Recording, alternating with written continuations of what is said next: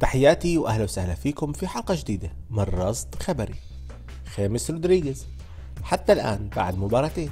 سجل هدف صنع آخر.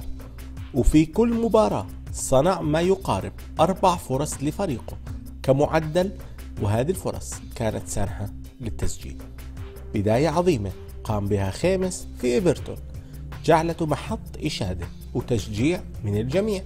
المدرب اللي أصر على التعاقد معه كارلو أنشيلوتي خرج بتصريحات وقال فيها لبي بي سي أنا سعيد لخاميس هو بيلعب في بلد جديد ودوري جديد. الأمر مش سهل أبدا.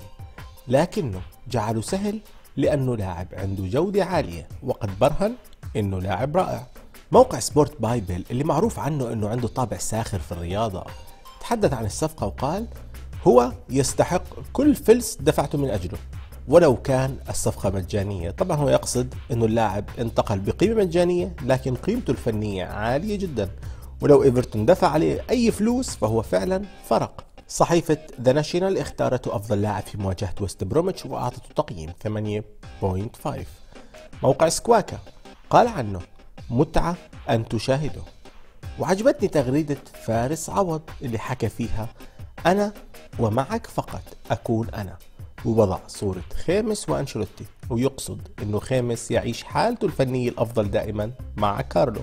وقال موقع بيتي سبورت سيخطف قلوب جماهير إيفرتون الجميع بيعرف إنه خامس عنده جودة. الجميع فينا بيعرف إنه خامس لمسته ذهبية. أهدافه حاسمة. بيعرف يخليك تلعب وبيعرف يساعد الجميع. لكنه لاعب بيحتاج فعلا نوع من الثقة الخاصة. بيحتاج إنه يشعر إنه جزء أساسي من المنظومة ومش لاعب مهدد. محتاج بيشعر إنه الناس اللي حوله بيعتمدوا عليه. وهذا اللي بوفر له إياه كارلو أنشيلوتي. هو يعمل ويجعل غيره يعمل في الملعب. لدرجة شوف التغريدة يعني لافتة للانتباه لمشجع من إيفرتون بيقول لدينا دي بروين جديد صحيفة ماركا المدريدية رصدت القصة أيضا وقالت عناق أنشيلوتي في نهاية المباراة يوضح ما يحتاجه خامس ويحتاج الحب.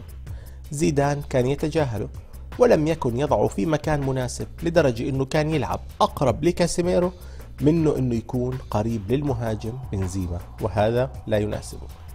الجميع الآن بيحتفل في إنجلترا بخامس هو يرقص هناك الآن حرفيا لكن علينا نفهم أنه البدايات لا تعني شيئا.